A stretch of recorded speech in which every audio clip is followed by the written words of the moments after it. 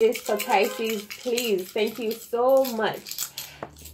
Wow, accurate, accurate messages for Pisces, please. Thank you so much for coming through. Let's go. Pisces.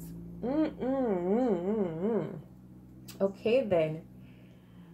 I see that you may be turning away or moving away or separating from an earth sign, Taurus, Virgo, Capricorn. Oh, by the way, Pisces, your element is water. Your element is water, the emotions. I feel like you're looking forward to being more in your element, which is water, emotions. I feel like someone is filling up your emotions right now with love. You could just be overflowing with love for someone, really expressing this sense of love for someone.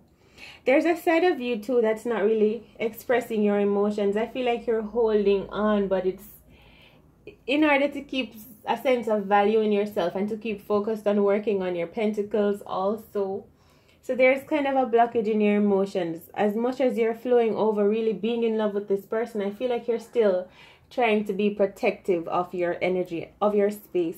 You are in your element, you're feeling good, you're going outside, you're walking on the beach. So that's what's up for you. Okay, pardon me. While I put my microphone in. Please. Thank you so much for being here. All right, so let's get some messages out for the sign.